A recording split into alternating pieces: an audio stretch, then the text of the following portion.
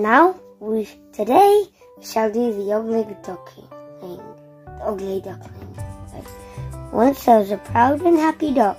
I have seven beautiful eggs and soon I'll have seven beautiful ducklings, she told her friend on the riverbank.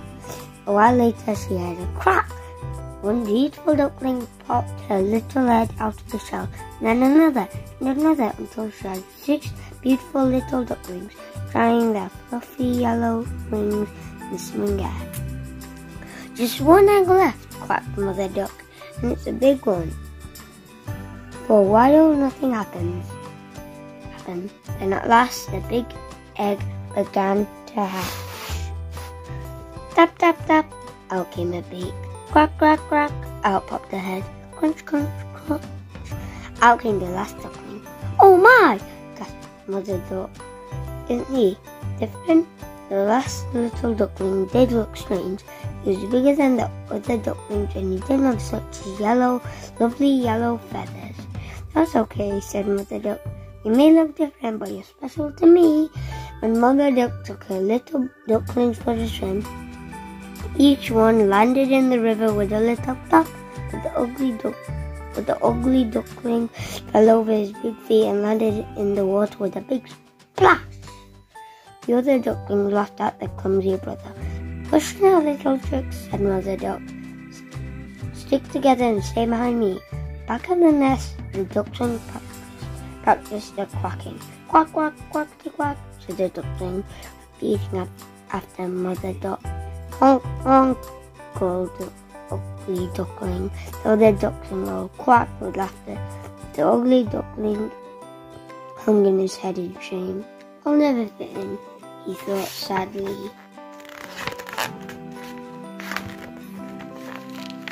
The next day, Mother Duck took her little ones out for another swim.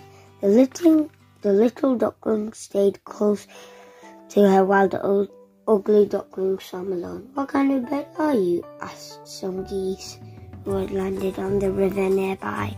I'm a duckling, he replied. My family has left me all alone. The geese felt sorry for the ugly duckling and asked him to go with them.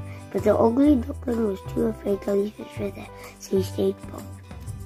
When Mother Duck wasn't looking, the other ducklings teased their ugly brother. Look at his dull grey feathers, said one of his sisters unkindly, admiring her own reflection in the water. Mine are so much prettier. The ugly duckling swam away and looked at his reflection. I don't look the same as them, he thought sadly. So he swam down the river and didn't stop until he reached a place he'd never seen before. Out here, he decided. Summer turned to autumn. The sky became cloudy and the river murky. Still, the ugly duckling swam alone in a quiet part of the river. Snow fell heavily that winter and the ugly duckling was cold and lonely. The river was frozen solid. At least I can't see my ugly reflection anymore, he thought. Spring arrived and at last the ice thawed. Some magnificent white ducks arrived on the river and swam towards the ugly duckling.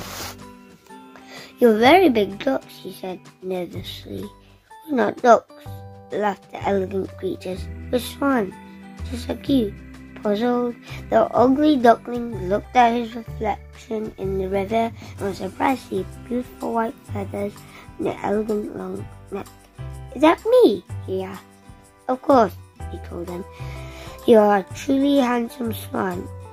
The handsome young swan joined his new friends and glided gracefully back up the river with them.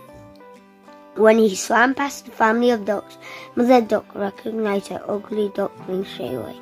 I always knew he special, she said, and the beautiful young swan, swan swam down the river proudly, ruffling his spectacular white feathers and holding his ele- elegant head high.